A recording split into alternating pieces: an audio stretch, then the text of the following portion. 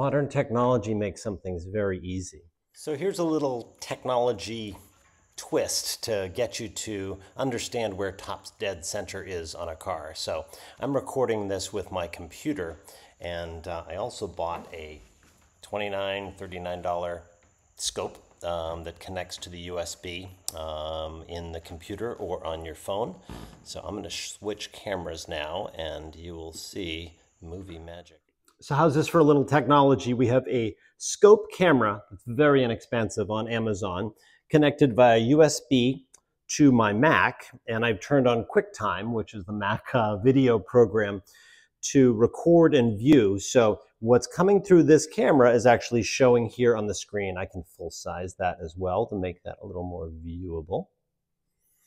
So you're seeing the uh, actual underside of the hood. And if I go down here slowly, you'll see the electric fan, some hoses. I'm going down, you'll see the valve cover there. And what I'm gonna do is actually feed this into the number one cylinder. So I'm gonna try to not block you too much here. So I'm gonna move over here and uh, I will change the camera angle. I think you can see on the screen on the Mac now the spark plug hole. So I'm going to aim for that with the camera and go in there. So we are now, if you see on the, it's jumping, I'll try to pause a little bit, but that's the side of the cylinder and you're actually looking at the top of my, uh, my piston right there. Pretty cool, right? So hopefully you can see over here on the screen, that is the top of my piston the cylinder wall there. And watch what happens when I turn the crank.